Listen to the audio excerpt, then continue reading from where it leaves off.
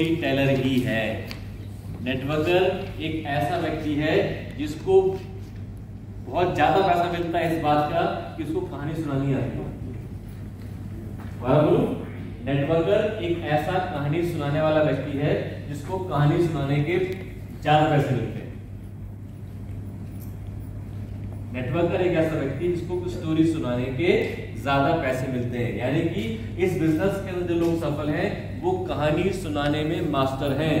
तो सबसे पहले आपको अपनी कहानी सुनाने का मास्टर बनना है। इससे पहले कि आप ट्रेनिंग की कोई कहानी सुनाएँ, अपने अपने कॉर्पोरेट की बैकग्राउंड की कहानी सुनाएँ, अपने अप्लाई की कहानी सुनाएँ, सबसे पहले आपको अपनी कहानी सुनानी आनी चाहिए। और अपनी कहानी सुनाने का मतलब ये नहीं कि आपके पास लाखों की इनकम और गाड़ियाँ हो, सब कुछ हो। नहीं, आप जो हैं, उसी को ही आप बेहतर ढंग से प्रेजेंट करें। आप क्यों उस बिज़नेस के अंदर आए थे? आप किस चीज़ से परेशान थे? उस बात को आप आगे रखें, लोग आपसे लिख करेंगे। दूसरी चीज़ बिज़नेस प्रेजेंटेशन दूसरा जो आपको अच्छा प्रेजेंटर बनना है, वो बनना है अपने बिज़नेस के बारे में लोगों को बताना। बिज़नेस प्रेजेंटेशन देने में आप कैसे अच्छे बन सकते हैं? बहुत सिंपल है।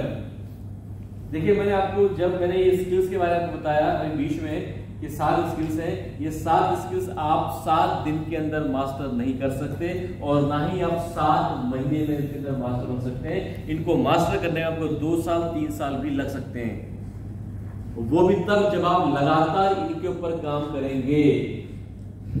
कोई एमबीबीएस ऐसी बन जाता है क्या? छह साल लगते हैं। कोई भी इंजीनियर बनता है एडवोकेट बनता है कुछ ही बनता है छह सात साल लगते हैं तो उससे आधा ही टाइम लग रहा है। और आप जब इस पर मास्टर बन जाएँगे या मास्टर ना बने बेहतर बन जाएँगे आपका रिवॉर्ड उन सबसे बहुत बड़ा होगा। टाइम फ्रीडम आपका बहुत ज़्यादा होगा। क्या दो साल का समय कम है? और ज़्यादा है नो सर नहीं। प्रेजेंटेशन कैसे मास्टर बनते हैं आप? आपको जो भी बढ़िया प्रेजेंटर लगते हैं आजकल तो यूट्यूब का जमाना है ऑनलाइन का जमाना है आप जो भी आपके बेस्ट प्रेजेंटर लगते हैं उनकी प्रेजेंटेशन को डाउनलोड कीजिए। अपनी कार में, अपनी बाइक में, अपने मोबाइल में उसको लगाइए। और लगातार लगातार सुनते रहिए सुनते रहिए सुनते रहिए। इतना सुनिए कि वो क्या अगला बोलने वाला है आपको मुँह जवानी याद हो और जब इतना आप सुन लेंगे तो आप उसको वर्बलाइज कर लेंगे अच्छे तरीके से, फिर सेम प्रेजेंटेशन को आप खुद करने लग जाएँगे। और थोड़े समय बाद में उसमें आपका खुद का स्टाइल आपका खुद का एक तरीका उसके अंदर आ जाएगा। ये तरीका होता है अच्छा प्रेजेंटर बनने का। चीज़ें आसान नहीं है। लाखों रुपए की इनकम कमाना कोई आसान काम नहीं है। अगर इतना आसान होता तो हर एक आदमी जो बस्ती ज्वाइन कर रहा है लाखों रुपए कमा रहा होता। सीधी सी बात। आपको इसमें समय लगेगा टाइम लगेगा, मेहनत भी लगेगी।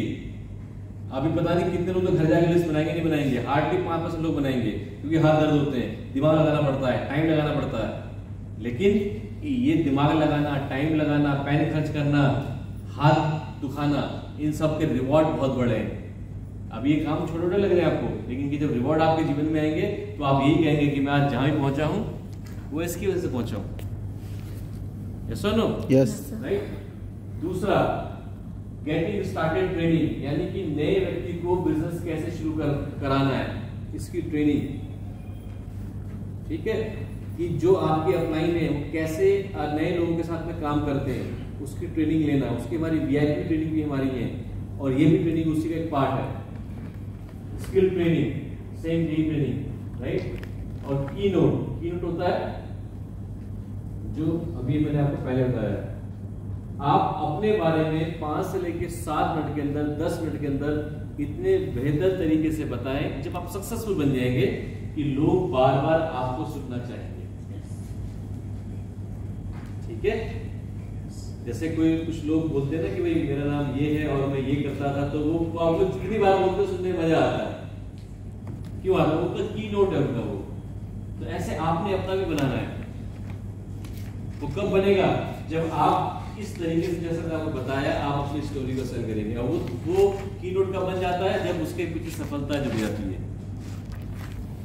जैसे मैं आज की डेट में बोलूँ कि भाई मैं, मैंने आपको अपना बता दिया कि भाई मैं ये ये हूँ और आने वाले वक्त के अंदर मैं वेस्टिज से बहुत कुछ अचीव कर सकता हूँ। अब मैं करेक्टर बोलता हूँ। मेरा नाम प्रीतम सिंह रावत है और मैं एक स्टेनोग्राफर था। मेरी ढाई हज़ार रुपये की सैलरी हुआ करती थी।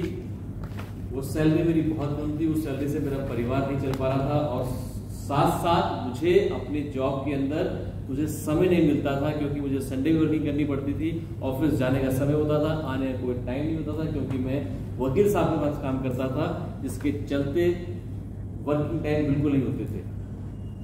मैं अपनी इस लाइफ से बहुत परेशान था, बहुत डिस्टर्ब था, और इसी बीच में मैं इसका सोल्यूशन ढूंढ ही रहा था। मुझे इस इंडस्ट्री के बारे में मालूम चला, थोड़ा समय कुछ और कंपनी में काम करने के बाद फाइनली मुझे 2012 में वेस्टीज के बारे में जानने का मौका मिला और वेस्टीज बिज़नेस को मैंने ज्वाइन किया। ज्वाइन करने के बाद में मुझे लगा कि जितनी भी ये परेशानियाँ अब तक मेरे साथ रही, समय की, पैसे की और सही इंडस्ट्री ना मिलने की, सही कंपनी ना मिलने की, वो अब दूर हो गई है। और दोस्तों, आज मुझे वेस्टीज के अंदर दस, लगभग दस साल हो गए हैं। अगर मैं अपने बारे में बताऊँ तो वही जो मेरी ढाई हज़ार रुपये पर मंथ की इनकम जॉब में हुआ करती थी, आज वेस्टीज की इनकम से वेस्टीज से मेरा जो हाईएस्ट पे आउट है वो लगभग छह लाख रुपये एक महीने का है। मेरे पास जब मैं जॉब के अंदर था, मेरे पास कुछ भी नहीं था, मेरे पास बाइक भी नहीं हुआ करती थी, बसों से ट्रैवल किया करता था। मैं तीन तीन कारें यहाँ से ले पाया, पहली होंडा सिटी दूसरी होंडा मेज और तीसरी कार मेरे पास में है ऑडी क्यू थ्री लगभग बयालीस लाख रुपये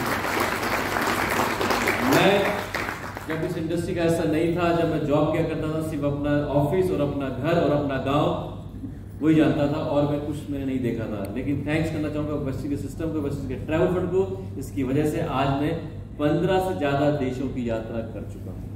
और जब मैं इस इंडस्ट्री के अंदर आया था या वेस्टीज के अंदर आया था, तब मुझे लगता था कि मैं इस बिज़नेस के अंदर सफल हो पाऊँ, नहीं पाऊँगा। एक शख्स ज़रूर था माइंड के अंदर, लेकिन आज जब मैं पीछे उठकर देखता हूँ तो मेरे नेटवर्क में कई ऐसे लोग हैं जो आज लाखों रुपया पर मंथ कमा रहे हैं, अपने सपनों को पूरा करने with this thank you so much